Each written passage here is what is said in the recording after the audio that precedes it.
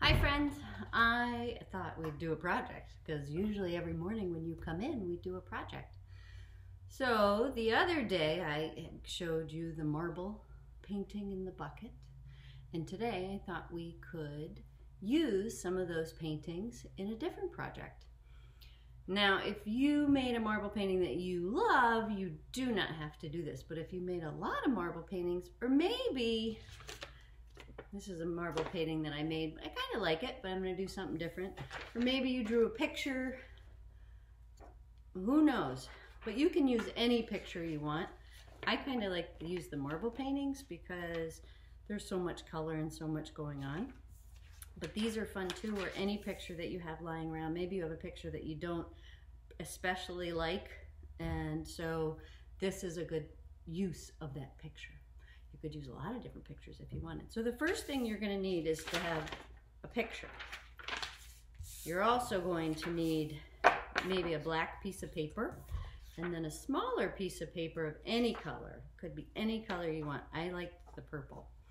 But you can ask mom or dad to cut it down a little bit smaller than the black piece of paper. You could really use any other color too, but you need two pieces of different colors. You're gonna need some glue. Some of you like the squishy, squeezy glue. I don't quite need my glasses, do I? We need the squeezy glue, or you like the glue sticks. If you use the squeezy glue, you might want a paintbrush, and you're gonna need scissors. So the first thing you're gonna do is you're gonna take your picture, and this might seem a little kooky because you might have made some effort with this picture, so make sure that you're okay with cutting up your picture. I'm okay with cutting up this picture because I made a lot of marble paintings. And so I'm okay to use one to cut up. So what you're first gonna do is you're gonna take your scissors, your thumb in the little hole, fingers in the big hole, right? Like that. And you are going to cut your picture up into little pieces. Okay? And you're gonna cut, cut, cut in all different ways, however you want. If you want to practice ripping your paper too, you can try to rip your paper. You remember you pinch the top and you go out with one finger set and then in with the other finger set. So you got to pull in different directions. Let's try that again. Pinch at the top and one hand's going to go forward and one hand's going to come back. Right? We'll try that again. We're going to see how little we can get them. So once you've got your picture all ripped or cut up, you could also try to snip, snip, snip one way, turn the paper, and then snip, snip, snip, snip the other way, and then pieces will fall off. So once you've cut your picture up, you could even do this with a magazine picture if you didn't want to cut up your own creation.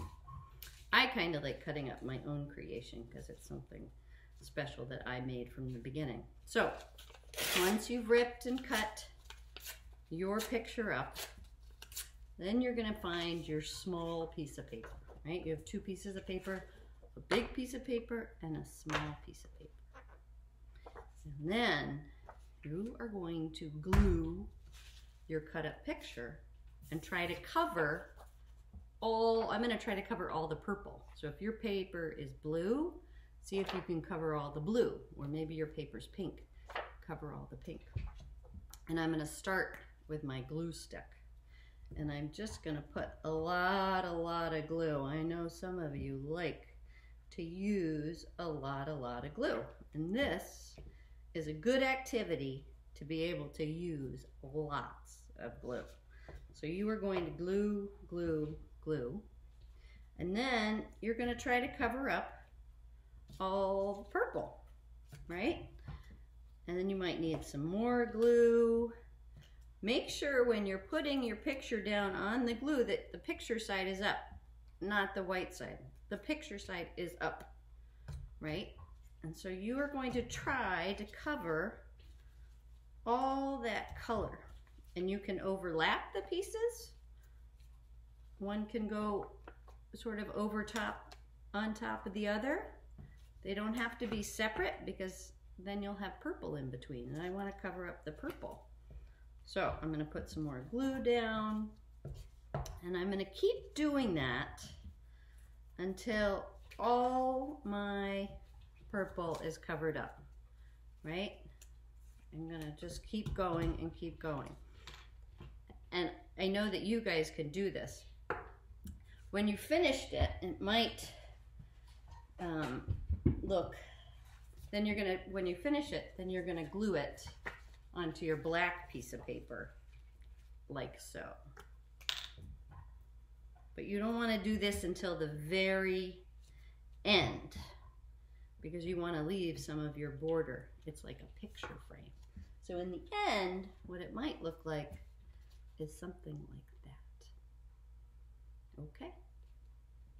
Bye.